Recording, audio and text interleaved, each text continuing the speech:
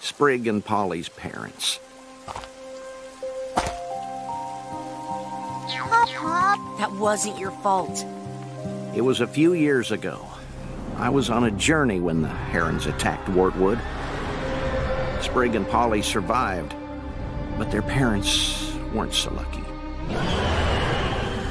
If I'd just been there, I know things would have been different.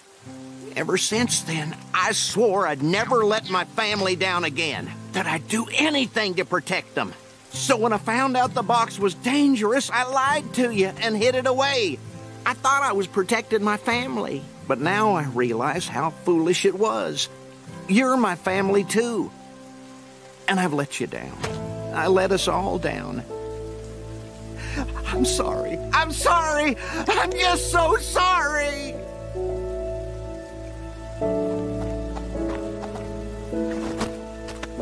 Huh? Hop Pop, I forgive you.